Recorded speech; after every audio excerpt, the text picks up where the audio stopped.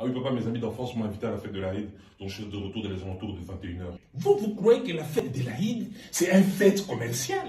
Ce n'est pas un fête commercial, c'est un fête pour les musulmans qui ont fait la rupture du jeûne. Tu as même snobé tes camarades musulmans qui faisaient les ramadans, tu mangeais devant eux, et aujourd'hui ils font la fête, toi tu vas avec eux comme si tu avais fait les ramadans avec eux. Opportunistes, hypocrites, voyous. Bah enlève-moi les là-bas là, va mettre ça à la machine.